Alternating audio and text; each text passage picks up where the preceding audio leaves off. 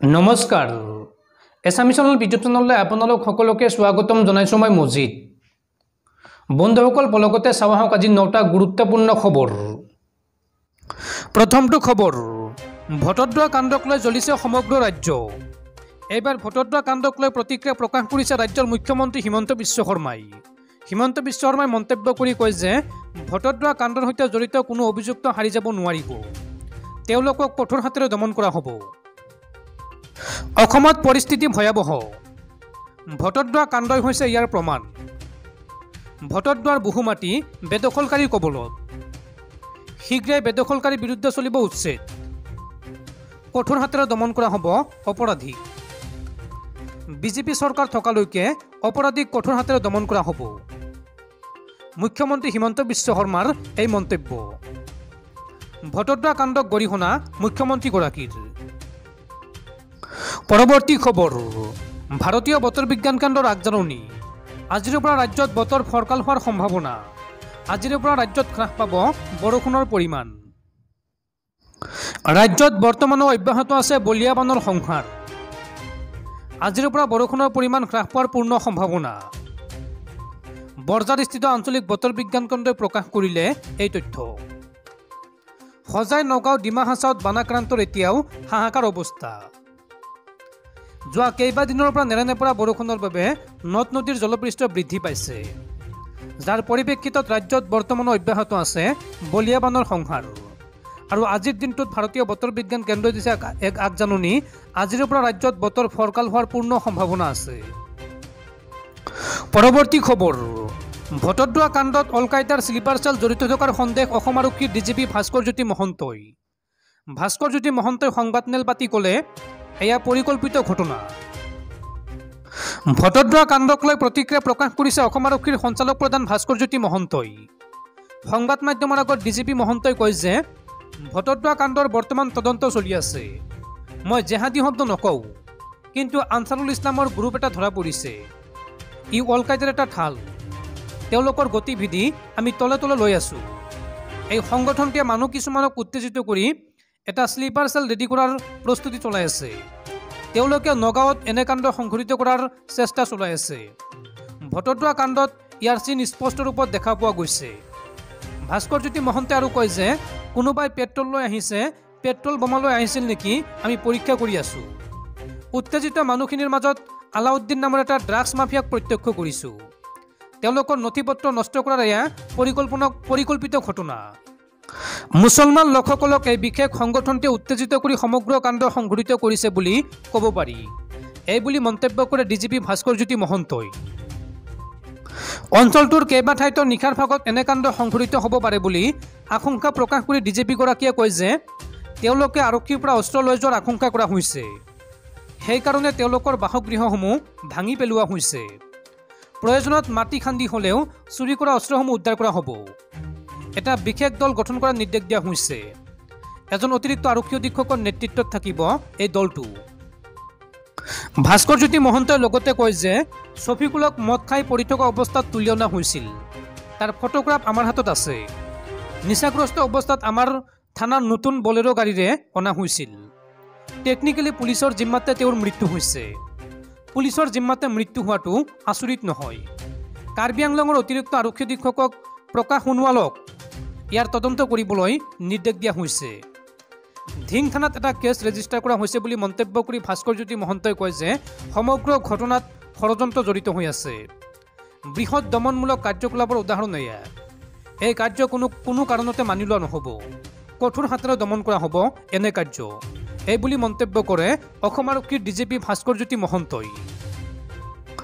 বন্ধুসকল তাৰপিছৰ চাৰি নম্বৰ খবৰটো জনোৱাৰ আগতে আপোনালৈ এটা সৰু ৰিকুৱেষ্ট যদি এতিয়ালৈকে এইটো ভিডিঅ'ত লাইক কৰা নাই তেন্তে প্লিজ এটা লাইক কৰি দিয়ক।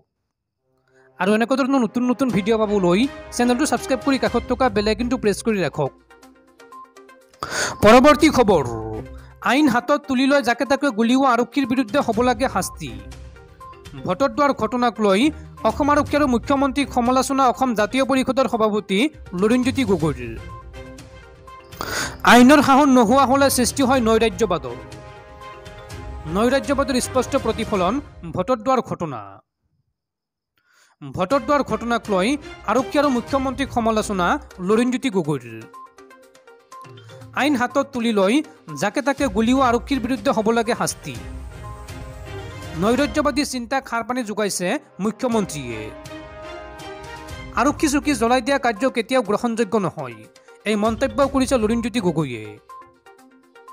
অসমৰ মাটিত জংঘল ৰাজৰ চিন্তা গণতন্ত্ৰক হত্যা কৰা চিন্তাৰ বিৰুদ্ধে এদিন ৰাইজ ওলাই আহিব। এইবুলি ৰাজ্য চৰকাৰ তথা অসম আৰক্ষীক খোৰদাৰ সমালোচনা কৰে লৰিণজ্যোতি গগৈয়ে। পৰৱৰ্তী খবৰ ৰাজ্য কপাৰ্য ভটদ্ৰা কাণ্ডক লৈ এইবাৰ প্ৰতিক্ৰিয়া প্ৰকাশ কৰিছে সাংসদ আব্দুল খালেকে। আব্দুল খালেকে মন্তব্য কৰি কয় যে আৰক্ষীয়ে কিয় কন্দুৱা গেছ বা পানীশিলৈ নামাৰিলে নে নিজে জ্বলোৱাৰ সুবিধা কৰি দিছিল। ভটদ্ৰা থানাত আক্ৰমণৰ ঘটনাক গৰিহণা সাংসদ আব্দুল খালেকৰ। সাংসদগৰাকীয়ে কয় যে আক্ৰমণকাৰীৰ ঘৰ বুলডোজাৰেৰে ভাঙি পেলোৱা উচিত নহয়। বুলডোজাৰ চলোৱাটো মানৱ অধিকাৰৰ পৰিপন্থী। মুখ্যমন্ত্ৰীয়ে গৃহ বিভাগ চলোৱাত ব্যৰ্থ হৈছে। সৰু সৰু ঘটনাক নিয়ন্ত্ৰণ কৰিব পৰা নাই। চৰকাৰ এখন প্ৰতিশোধ পৰায়ণ হ'ব নালাগে এই মন্তব্য সাংসদ আব্দুল খালেকৰ। এই ঘটনাৰো উচ্চ পৰ্যায়ৰ তদন্তৰ দাবী সাংসদগৰাকীৰ। আক্ৰমণকাৰীক আৰক্ষীয়ে কিয় কন্দুৱা গেছ বা পানী শিলৈ নামাৰিলে বুলি প্ৰশ্ন সাংসদ আব্দুল খালেকৰ।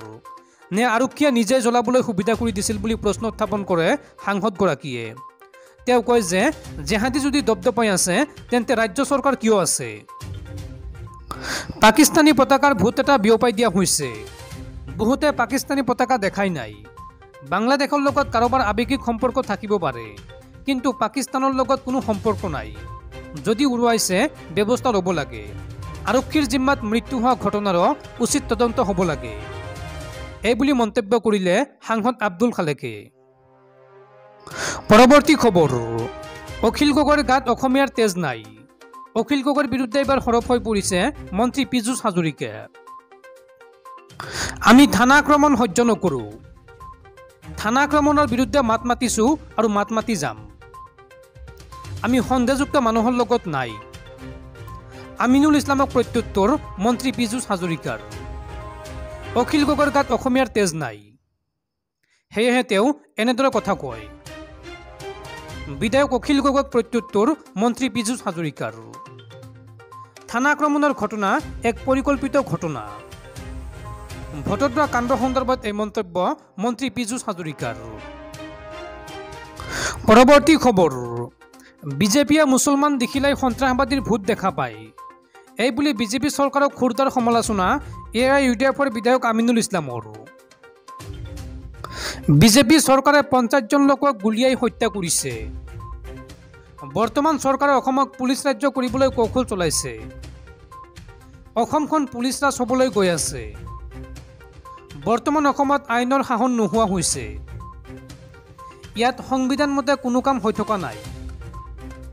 ভটদ্ৰা থানা জ্বলোৱা ঘটনা কোনো কাৰণতেই সমৰ্থনযোগ্য নহয়। থানা জ্বলাই দিয়া লোকৰ লগতে ছফিকুলক হত্যা কৰা পুলিচকো শাস্তি দিব লাগে। হিংসাত্মক কাৰ্যৰ সৈতে জড়িত অভিযুক্তৰ ঘৰত বুলডোজাৰ চলোৱা কাৰ্য দুৰ্ভাগ্যজনক। আৰক্ষীৰ দোষ জাপি দিবৰ বাবে পাকিস্তানী সন্ত্ৰাসবাদী জেহাদী বনায়। এইবোৰ পুৰণা ষ্টাইল। এইবোৰ বন্ধ কৰিব লাগে। বিজেপিয়ে মুছলমান দেখিলেই সন্ত্ৰাসবাদীৰ ভোট দেখা পায়। মুখ্যমন্ত্ৰী এজন জনা মানুহ তেখেতৰ শাওনত পুলিচ ৰাজ গঠন হোৱাটো সমৰ্থন কৰিব নোৱাৰোঁ। আৰক্ষীয়ে মাছমৰীয়াজনক মৰিয়াই মৰিয়াই হত্যা কৰাটো জঘন্যতম অপৰাধ। ভটদ্ৰা কাণ্ডক লৈ এই বিস্ফোৰক মন্তব্য এ আই ইউ ডি এফৰ বিধায়ক আমিনুল ইছলামৰ। পৰৱৰ্তী খবৰ ভটদ্ৰা কাণ্ডত জড়িতসকলক কেতিয়াও ক্ষমা নকৰোঁ কঠোৰ হাতেৰে দমন কৰিম। ভটদ্ৰাৰ ঘটনা সন্দৰ্ভত মুখ্যমন্ত্ৰী হিমন্ত বিশ্ব শৰ্মাৰ এই মন্তব্য। শনিবাৰে ভটদ্ৰাত সংঘটিত হ'ল এক ভয়ংকৰ ঘটনা। থানাত এজন লোকৰ মৃত্যু হোৱা কেন্দ্ৰ কৰি একাংশ উত্তেজিত লোকে থানা জ্বলাই দিয়াৰ লগতে আৰক্ষীৰ লোকক প্ৰহাৰ কৰে। বৰ্তমান চলি আছে উক্ত ঘটনাৰ তদন্ত। এইবাৰ হৈ যোৱা হিংসাত্মক ঘটনাৰ সন্দৰ্ভত প্ৰতিক্ৰিয়া প্ৰকাশ কৰিছে মুখ্যমন্ত্ৰী হিমন্ত বিশ্ব শৰ্মাই। মুখ্যমন্ত্ৰী হিমন্ত বিশ্ব শৰ্মাই কয় যে আমি সবাই সমিতিয়ে কোৱা কথাবোৰে ইয়াৰ প্ৰমাণ হ'ল। ভটদ্ৰাৰ ঘটনাই প্ৰমাণ কৰিলে অসমত সাধাৰণ নাগৰিক কেনেকৈ জীয়াই আছে।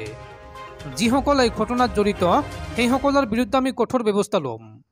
আমি সকলোকে সকীয়াই দিব বিচাৰোঁ যে আমাৰ চৰকাৰ থকালৈকে আমি এনেধৰণৰ কাম কামত জড়িত লোকসকলক আমি কেতিয়াও ক্ষমা নকৰোঁ।